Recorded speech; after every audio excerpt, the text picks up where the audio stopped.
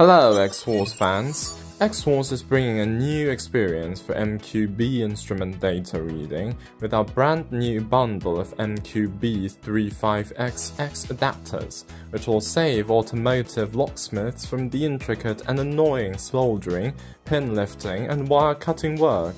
Previously, we've demonstrated the process of reading D70F3537, which does not require loading EEPROM 95320. And how about MQB instrument data that requests to load EEPROM 95320? In this video, I'm gonna walk you through the whole process, taking D70F3524 as an example. On the main screen, tap on MO Programming. Scroll down to VW.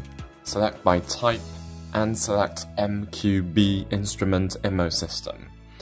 Enter the MQB48 NEC35XX lock and tap on Start Programming. Please read the disclaimer on the screen carefully and then tap on OK. Make sure KeyTool Plus has connected to the network. Then we are going to select Programmer Reads Files. Read NEC35XX chip, and we are tap on Adapter Method. Select D70F3524. Take a careful look at the connection diagram and operate following the diagram. Locate the positioning points and we're going to connect the adapter to the board with reference to the points Connect and apply the clips.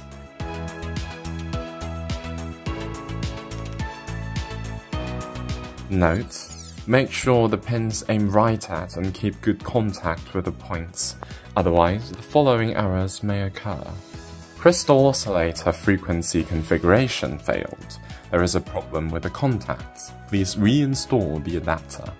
Chip cracking failed. First, the contacts are loose. Second, continue reading repeatedly.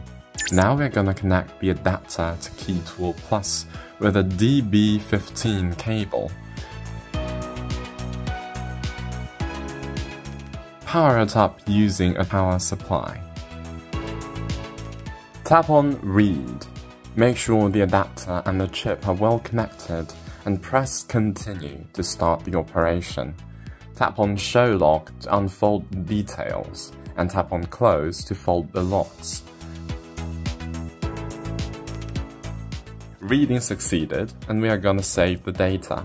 Then it'll pop out the operation options. We'll press Programmer Reads File, read 95320E EEPROM, and select Adapter Method.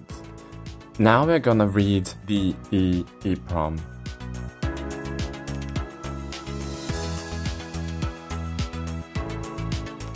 Make sure the adapter and the chip are well connected and press continue to start the operation.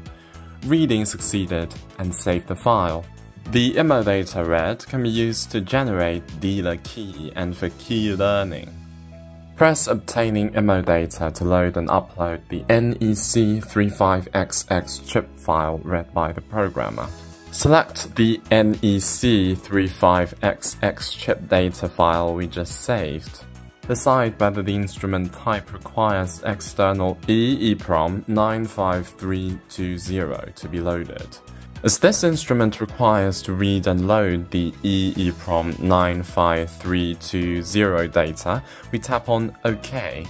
Select the EEPROM 95320 data we just saved, and tap on Open to start the calculation. It's gonna take 5 to 10 minutes to complete the calculation. Thank you for watching, and we are gonna showcase how to read D70F3532 with our newly released adapter in the next video. If you have further questions, please let us know in the comment section and I'll see you in the next one.